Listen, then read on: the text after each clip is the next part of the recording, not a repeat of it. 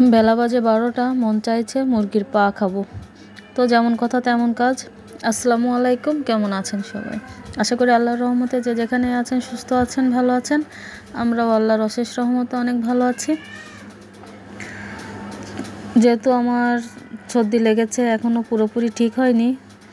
তো সবসময় ঝাল ঝাল কিছু খেতে মনে চাচ্ছে। তো বেলা বেজে গেছে বারোটা। তো কি মনে হলো যে একটু মুরগির পা খাব? তো মুরগির পা তো আর ঘরে ছিল না, তো চলে গেলাম বাজারে। এই যে আধা কেজি মুরগির পা কিনে নিয়ে আসলাম, তো সেটাই পরিষ্কার করে নিচ্ছি, এটাই রান্না করে এটা দিয়েই দুপুরে ভাত খাব। তো মুরগির পাগুলো তো কেটে কুটে পরিষ্কার করে নিলাম, আর এদিকে একটু মশলা করে নেব, এই জন্যে পেঁয়াজ আর রসুনটা আমি কেটে একেবারে ব্লিন্ডারে জারের মধ্যেই দিয়ে দিচ্ছি, এটা একটু বেটে নেব। পেঁয়াজটাও যদি তরকারির মধ্যে একটু বেটে দেওয়া যায়, তো তরকারির গ্রেভিটা কিন্তু অনেক ঘন হয়। তো আমি পেঁয়াজ কুচিও দেব, আবার এই যে পেঁয়াজ রসুন একসাথে বেটে নেব, সেটাও দেব। তো অনেকের হয়তো আমার রান্নাটা দেখে ভালো লাগবে না, কারণ মুরগির পা অনেকে খেতে পছন্দ করেন না, কিন্তু আমার ঘরে আমার মেয়েরা আর আমি মুরগির পা কিন্তু খুবই পছন্দ করি।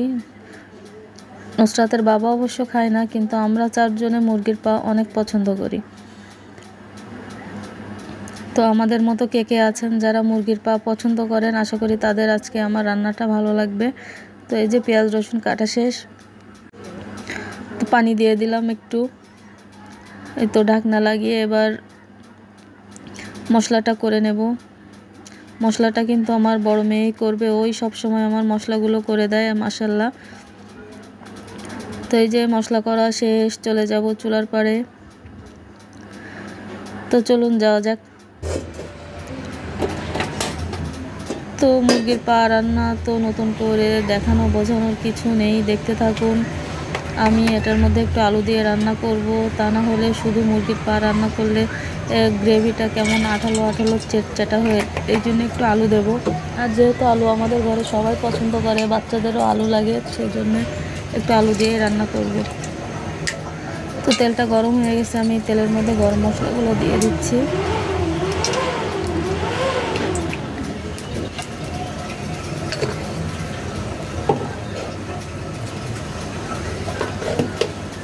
গরম মশলাগুলো গোটাই দিয়ে দিচ্ছি, গরম মশলা, বাটা দেব না এই জন্য।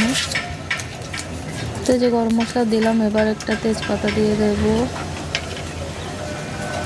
আর পেঁয়াজ আমি কিছুটা কুচি করে নিয়েছি, সেটাও একটু ভাজা ভাজা করে তারপরে বাটা মশলা দেবো। বাটা মশলাতে অবশ্য পেঁয়াজ রয়েছে।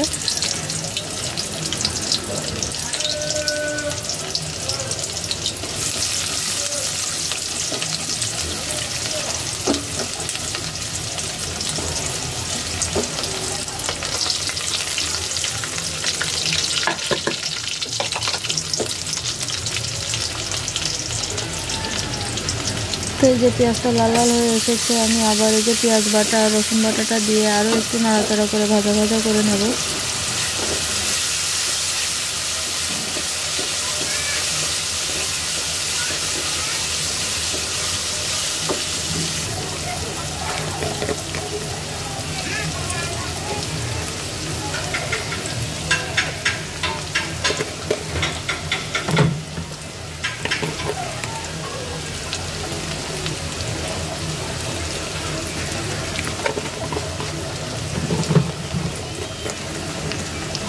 সব ধরনের গুঁড়া মশলা দিয়ে আমি মশলাটা আরও একটু ভাজা ভাজা করে নেব।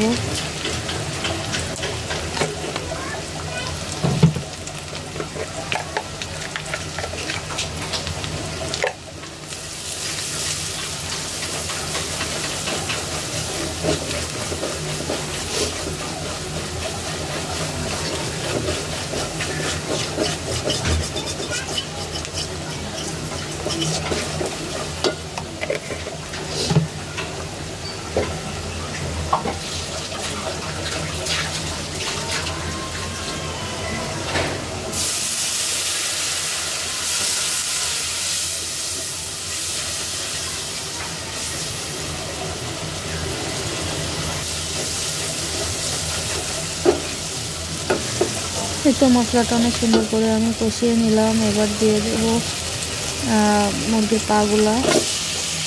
সাথে আলুগুলোও দিয়ে দেবো। তা না হলে সিদ্ধ হবে না, মুরগির পা সিদ্ধ হতে তো বেশি একটা টাইম লাগে না। কিন্তু আলুগুলো সিদ্ধ হতে টাইম লাগবে, এই জন্য আমি আলুগুলো একসাথে দিয়ে দেবো।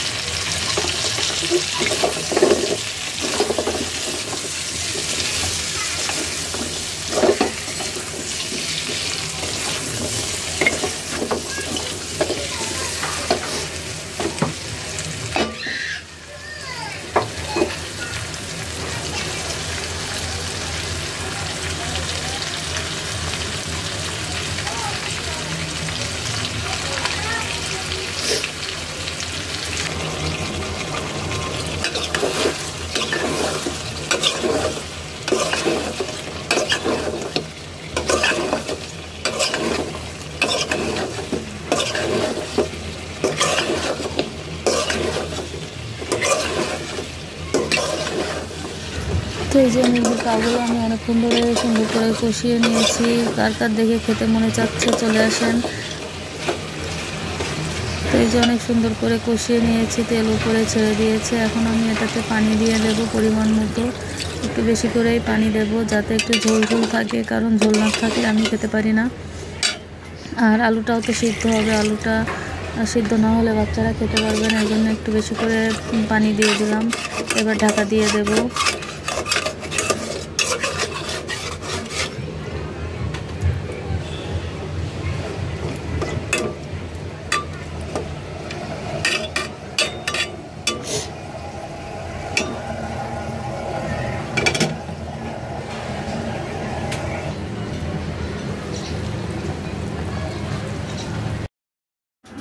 এটা কিন্তু প্রায় হয়ে এসেছে আর বাচ্চারাও জ্বালাতন করছে খাওয়ার জন্যে, কারণ অনেক বেলা হয়ে গেছে। অলরেডি দুইটা বেজে গেছে আলুগুলা ওই যে সিদ্ধ হয়ে গেছে। তো আমি আর একটুখানি জাল করে এটা নামিয়ে নেব।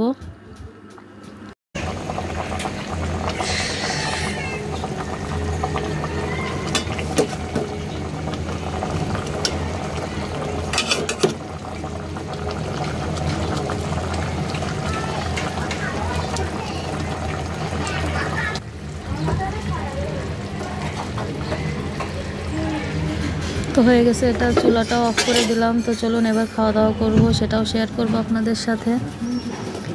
এটা নিয়ে আমি ঘরে যাই। যেহেতু আমরা খাটে বসেই খাই, তো এটা নিয়ে খাটেই নিয়ে যাব।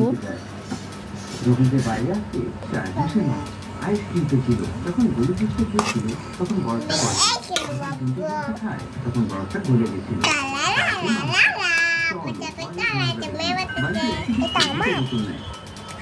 বড়টা বলে খায় তখন বড়টা গলে গেছিল নাও। গরমকে পজ করো